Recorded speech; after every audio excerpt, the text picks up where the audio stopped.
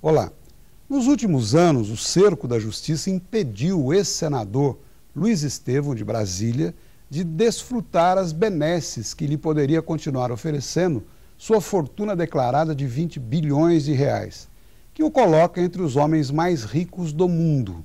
Isto porque a União conseguiu bloquear todos os bens do ex-senador e de seus filhos, além de confiscar a receita oriunda de aluguéis e do caixa das empresas.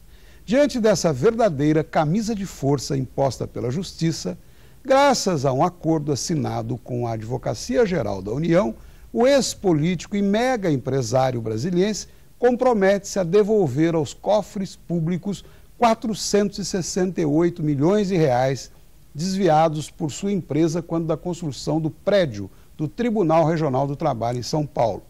E aí terá parte de seu patrimônio desbloqueada. Agora é ver para crer no que parecia ser inacreditável.